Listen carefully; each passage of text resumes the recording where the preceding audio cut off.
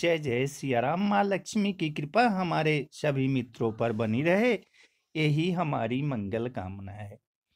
तो पौष पूर्णिमा के दिन माँ लक्ष्मी की कृपा पाने के लिए हमें कौन काम करना चाहिए? हिंदू धर्म में पूर्णिमा तिथि का बहुत ज़्यादा महत्व होता है।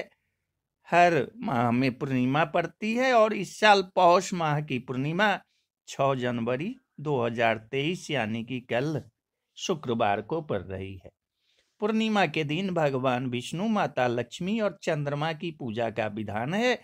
मान्यता है कि पौष पूर्णिमा के दिन सूर्य और चंद्रमा की पूजा करने से सभी मनोकामनाएँ पूरी होती है। पूर्णिमा के दिन चंद्रमा संपूर्ण होता है सूर्य और चंद्रमा सम सप्तक होते हैं। पूर्णिमा तिथि के स्वामी चंद्रमा माने गए हैं। मान्यता है कि इस दिन चंद्रदेव के पूजन से मानसिक समस्याओं से मुक्ति मिलती है। पूर्णिमा के दिन दान, स्नान और तप करना बहुत लाभकारी होता है।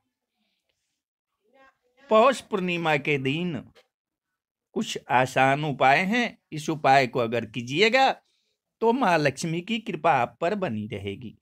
पौष पूर्णिमा के दिन रात को घी का दीपक जलाकर, लक्ष्मी स्त्रोत का पाठ करें। मान्यता है कि ऐसा करने से धन लाभ के योग बनते हैं। माता लक्ष्मी का अवतरण पूर्णिमा तिथि के लिए ही हुआ था, इसलिए माँ लक्ष्मी को पूर्णिमा तिथि बहुत प्रिय है। पूर्णिमा के दिन माँ लक्ष्मी को खीर का भोग लगाना चाहिए।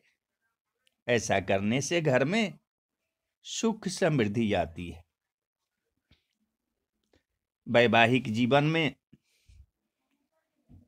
वैवाहिक जीवन में सुख प्राप्त हो, इसके लिए पूर्णिमा के दिन पीपल के वृक्ष पर जल चढ़ाए, मिठाई का भोग लगाए, मान्यता है कि पूर्णिमा के दिन ऐसा करने से वैवाहिक जीवन सुखद होता है और धन लाभ के योग बनते हैं।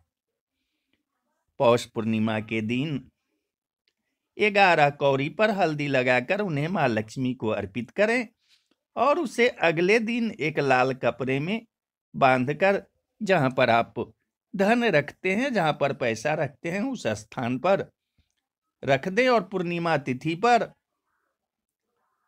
उनकी पूजा करें। मान्यता है कि ऐसा करने से जल्द से धन आगमन होता है।